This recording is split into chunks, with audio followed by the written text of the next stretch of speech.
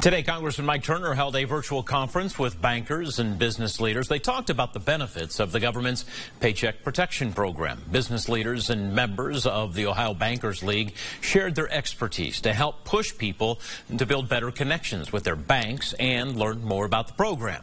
The leader said so many small business owners in the Dayton area have hesitated applying for a PPP loan. But Congressman Turner still encourages businesses to take advantage of the resources. I've been astonished at how many local businesses uh, were able to go through the process. You know, over 200 um, needed assistance from our office, but over 7,500 receive assistance in, in, loans.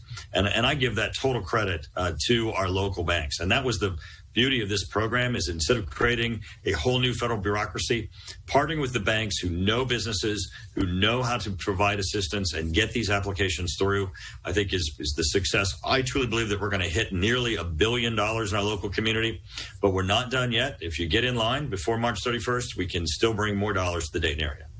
Small businesses in the Dayton area have until the end of March to apply for the Paycheck Protection.